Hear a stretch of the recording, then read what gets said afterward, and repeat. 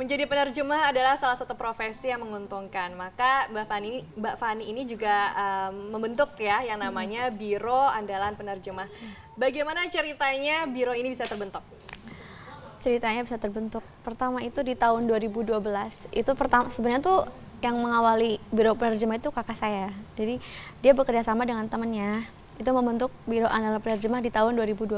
Hmm. Nah, kemudian dari kan mereka tahu cuma beberapa bahasa kan. Ada pertama tuh Arab sama Inggris kan kebetulan dari mereka tuh di universitas yang sama. Nah, kemudian setelah beberapa lama beberapa lama mereka buka kesempatan untuk yang bisa bahasa-bahasa asing lain gitu kan. Akhirnya mulai berkembang tuh, mulai berkembang, mulai berkembang dan hingga sampai sekarang. Bahasa apa saja tuh yang oh. akhirnya dilayani? Bahasa ada kita tuh berapa ada bahasa pertama Inggris, uh, Arab, ada bahasa itu juga Korea, Jepang, Mandarin, Rusia, Spanyol, Vietnam, Thailand. Oh wow, banyak sekali ya hampir yeah. seluruh bahasa. Uh -uh. Kalau Fani sendiri apa nih background uh, pendidikannya? Uh, English. English. Yeah. Lalu sampai akhirnya memutuskan untuk menjadi seorang penerjemah gimana ceritanya? Gimana ya? Berawal dari pertama suka sih, karena suka. Terus jadi kan belajar terus belajar terus kan.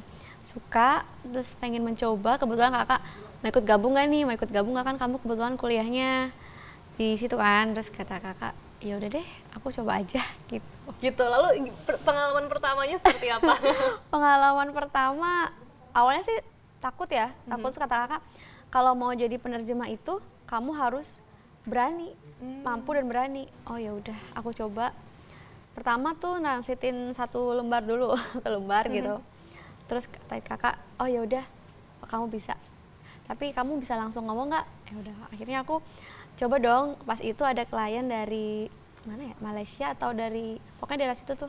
Ya nah, akhirnya aku langsung ngomong meskipun awalnya terbata-bata gitu kan tapi kata udah nggak apa lanjut lanjut lanjut lanjut sampai akhirnya lulus juga ya jadi memang modalnya harus berani. Uh -uh. dan Mampu mungkin dan sedikit nekat kali ya. Iya. iya betul. Nah ini kalau berbicara mengenai bahasa ini ternyata ada bahasa yang memiliki tingkat kesulitan tinggi dan juga ada yang uh, mudah. Bahasa tersulit itu ada yang pertama adalah bahasa Mandarin. Hmm. karena uh, bahasa ini memiliki 80.000 karakter dan untuk bisa menguasainya itu setidaknya harus tahu 3.000 sampai 3.500 kata untuk dapat melakukan percakapan dengan orang lain. Lalu bahasa tersulit yang kedua itu adalah bahasa Jepang karena dalam bahasa Jepang dikenal tiga sistem penulisan yaitu ada katakana, hiragana, dan kanji. Ketiganya memiliki cara penulisan yang berbeda. Dan uh, bahasa tersulit yang ketiga yaitu bahasa Yunani karena bahasa ini juga merupakan salah satu bahasa terkuno di dunia serta memiliki alfabetnya sendiri yang terdiri dari 24 huruf kuno uh, yang sudah digunakan sejak abad ke-9 sebelum Masehi. Kalau menurut Fani sendiri apa nih bahasa yang tersulit menurut Fani? Mandarin memang. Mandarin. Iya. Tapi sudah mencoba untuk mempelajarinya. Mencoba, udah mencoba mulai. Cuma sulit juga tuh kan kita harus belajar apa tulisannya kan.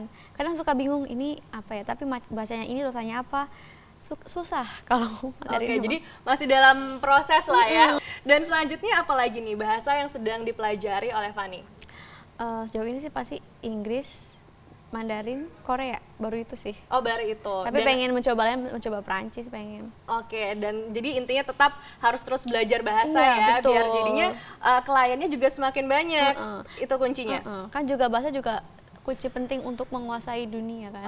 Oke, siap kalau begitu. Jadi jangan pernah malas ya uh -uh. untuk belajar bahasa. Uh, Terima kasih Fani ya. telah berbagi pengalamannya. Ya, Dan pemirsa jangan lupa Anda bisa menyaksikan uh, Beranda di channel 60 UHF atau bisa menontonnya kembali di akun YouTube kami yaitu Beranda Jopos TV. Saya Rizka Andalina undur diri, sampai jumpa.